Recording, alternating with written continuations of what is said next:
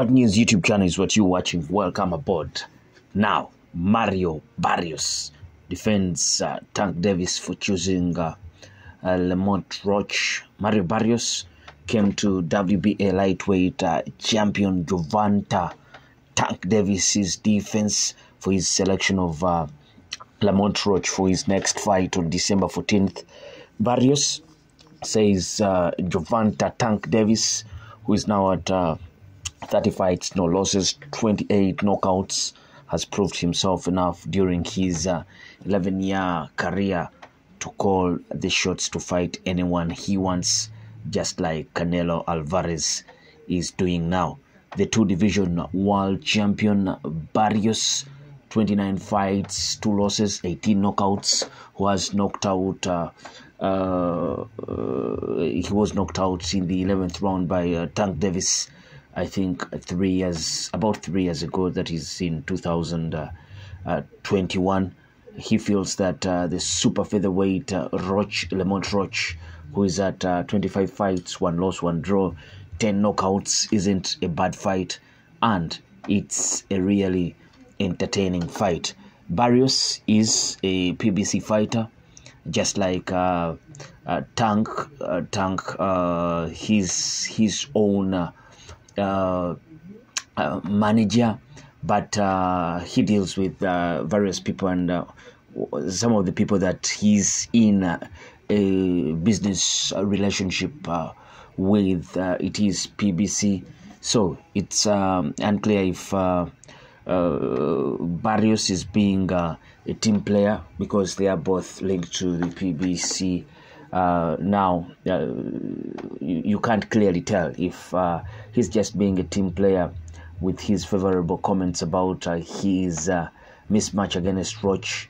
Like Tank, Barrios has been well maneuvered by his management, being steered into two division world titles without beating um, any notable opponent um, during his 11 year uh, professional career.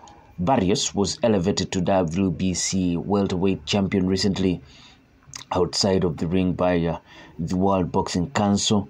In other words, Barrios is what fans call an email champion. Uh, you've heard of that uh, with uh, so many fighters out there. Uh, probably uh, in the most previous years, Devin Haney was called an email champion. So you you can tag that to to Mario Barrios. He won his WBC interim 147 uh, pounds tight against uh, Yordenis Ugas on September 30th, 2023.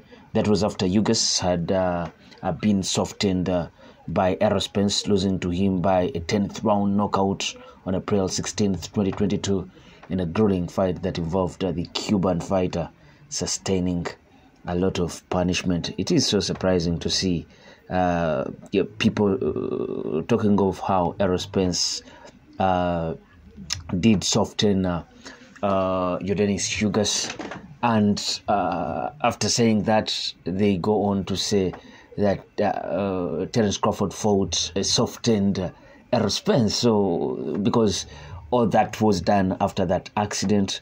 And uh, at one moment in that fight, Yordenis Ugas looked like um, uh, he, he looked nearer to getting that uh, knockout against Errol Spence. I think Errol Spence did uh, pick out his uh, usual uh, trick of uh, uh, throwing the gum shield out of the mouth, and uh, so in, in that incident, such instances, the referees have to stop the, the, the fight and uh, uh, allow the fighter to get back the gum shield into his mouth. So, uh, guys should be giving credit to what Terence Crawford did to Errol Spence, and uh, now uh, that should be softening. Terence Crawford softened Errol Spence, and you doubt if uh, he's ever going to be the same fighter again, and it, it was more of that dominant defeat, just like you saw Dubois beat up on Joshua. But you, you see, Joshua didn't do much of the things he's been known to do in that squared circle. But for Errol Spence, he came with his A game. He was doing the things he was used to doing, but just that Terence Crawford was uh, uh, the better guy on the night.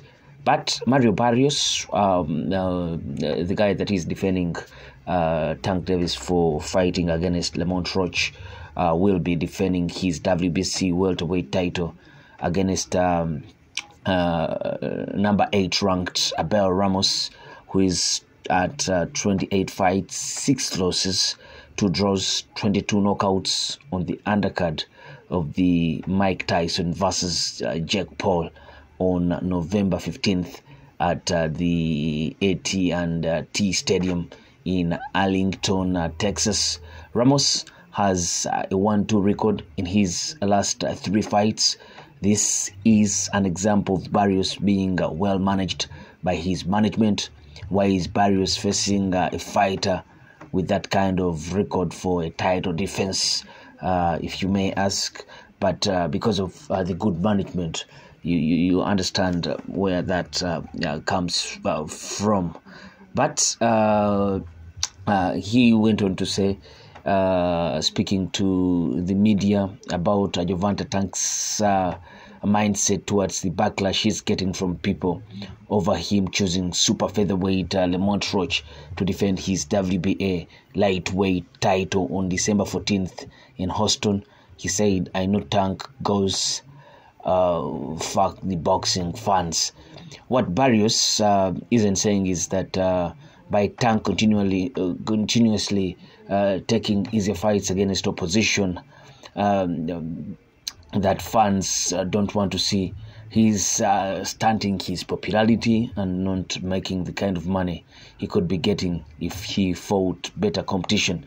Being protected results into a fighter never attaining true superstar status and uh, your, your, your aims of uh, entering that hall of fame after your career is over are also put in doubt. Everyone is always so opinionated. Boxing fans are so hard to please. It doesn't matter who you fight.